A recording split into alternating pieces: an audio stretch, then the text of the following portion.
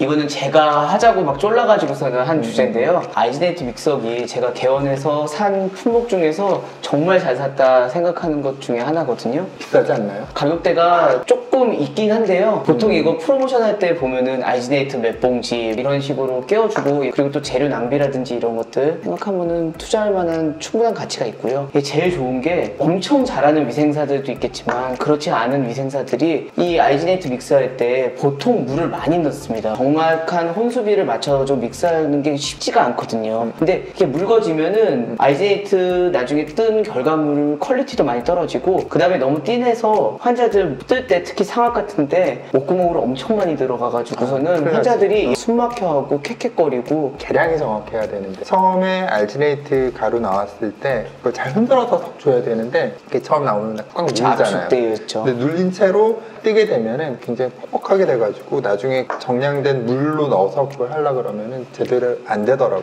혼수비를 정확하게 지키고 파우더도 잘 흔들어주고 그 네. 상태에서 믹스를 하는 게 중요한 것 같아요. 이 alginate 믹서기로 믹싱한 alginate는 약간 그 표면이 뭐 하자면 rubber 표면 같은 그 정도로 이렇게 나옵니다. 만져보면은 그 찐득찐득함이 손으로 mix했을 땐 이건 불가능하겠구나라는 생각이 들 겁니다. 우리 김동 원장 뭐 에피소드가 있나요? 안 좋은 기억. 지인이 자기 직원 소개를 해서 교정을 하겠다고 해서 이제 진단하려고 인상을 떴는데 연락 두절됐어요.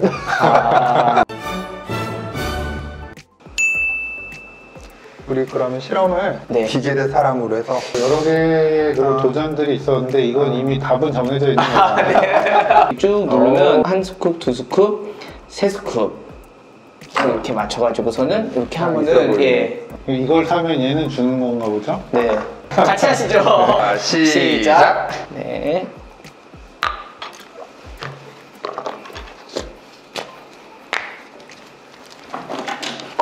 엄청 바빠졌다 너.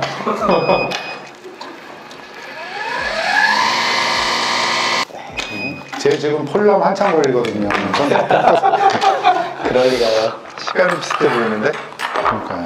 뭐, 굳이 제가 이렇게 막 바쁘게 안 해도. 서로가 아직 훈련 덜, 덜 끝나가지고.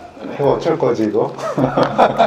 자, 시간을 비슷비 슷 alginate tray를 원래는 잘 잡고 있어야 되는데 네. 실제 입안에서 이걸 떠보면은 tray를 붙잡고 있고 떼고 이거 사이 굉장히 큰데 좀 직원들이 그런 걸 잘 못하는 경우도 꽤 있는 것 같아요. 그냥 물려놓고 자기 하고 싶은 거 하고 하는 싶은 거죠. 거. 네. 그러면 인상이 정확해지지 않거든. 심지어는 위아래 같이 뜨는 데도 있어요. 아, 진짜로. 코트는 올려가지고. 그런 것들을 보면 이제 tray가 안에 인상체에서 보입니다. perforation 돼 있다는 거죠. 그럼 절대 안 맞거든요. alginate도 정확하게 못 뜨면은 이게 기본적으로 그 시- 실력 차이가 좀 많이 나는 거라서 고년차가 하는 거랑 저년차가 하는 거랑 일단 믹싱하는 것도 다르고 잘 붙잡고 있고 이렇게 튀어나와 있는 부분들이 좀 많은 게 좋고 여러 가지 고려를 해야 되는데 너무 thin해도 안 되고 thick해도 안 되고 보면 치아 부분에 이제 나중에 뗐을 때 alginate가 묻어 있는 경우도 상체 자체 에 문제가 생겨가지고 stone 나중에 붓고 나서 보면은 거칠게 되는 좀 있는 거. 이게 이제 찢김 저항성인데 alginate가 아무래도 rubber보다는 찢김 저항성이 되게 약하거든요. 음, 음. 근데 alginate 믹서기로 믹스한 alginate는 음. 훨씬 낫습니다.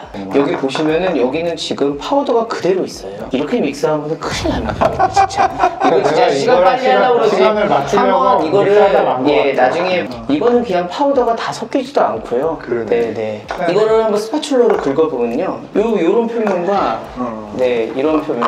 앞면을 한번 잘라서 잘라볼까? 보면 네네.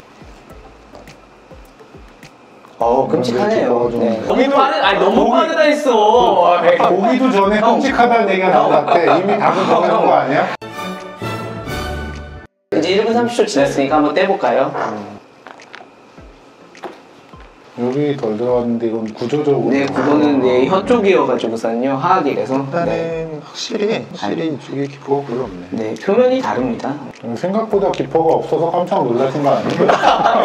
근데 이거 보시면 알겠지만 이렇게 믹스를 했는데 표면이 이렇게 나옵니다. 이 아이젠트 어디 거 없나요? 아, 이 아이젠트 진짜 좋은데요? 네. 원래 이렇게 나오면 안 되거든요. 아니 이런 믹스에서 어떻게 이런 표면이 나오죠? 솔직히 깜짝 놀랐거든요. 더 확실하게 한번 이것도 잘라볼게요. 잘라볼까요? 역시 다르군요. 어. 이게 이게 가장 확실한 것 같아요. 네. 이게 아이젠티가 좋아서 표면 쪽에서는 되게 잘 나오는데 안쪽에는 이제 그러니까 구조적으로 봤을 때 이렇게 되네요. 임프레션 뜨는 실험을 한번 했는데 이게 모형상에서 떴기 때문에도 이만큼 차이가 나는데요. 이게 구강 내라고 하면은 훨씬 더 큰 차이가 납니다. 왜냐하면 우리가 점도를 이 정도로 맞출 수가 없어요. 구강 내에서. 그러면은 굉장히 흐르기 때문에 목구멍으로 넘어가고 얼굴에 묻고 이런 것들이 굉장히 심하거든요. 뭐 결과물적인 것도 그렇지만 환자 편의성이라든지 아니면 직원의 편의성 이런 거를 생각했을 때 alginate 믹서기는 정말 하나 있으면은 두고두고 쓰는 것 같고 제가 개원한 지 10년 됐는데 10년 전에 개원할 때 썼던 아- alginate 믹서기 아직까지도 쓰고 있습니다. 전혀 고장 안 나고요. 그 다음에 옛날에 무슨 반자동이 좋네 뭐 하네 하지만 반자동은 누가 잡고 있어야 돼요. 이거는 그냥 버튼 누르면 끝나는 거기 때문에 그냥 전자동 사서 쓰시면은 좋을 것 같습니다. 프로모션 많이 해주실 거니까 한번 기대하면서 네. 전자동이 이게 파우더랑 리퀴드가 넣으면 알아서 들어가는 건가요? 아 그건 아니죠. 끼려고 한 것 같은데 별로 안 느꼈던 것 같습니다. 너다 껴들으려고. 아 오늘 보니까 나도 사야 되겠다는 생각이 드네. 사고 싶네. 네. 지르고 싶네. 네. 다음에 더 좋은 영상으로 찾아뵙겠습니다. 감사합니다. 구독과 좋아요 안 하냐고. 구독! 구독이 거기야? 음. 그럼 좋아요? 댓글 많이 달아주세요. 감사합니다.